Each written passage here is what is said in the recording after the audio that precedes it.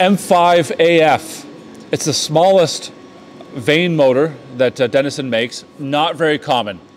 There, there's a lot of them though on John Deere units. I think they run the fans for them.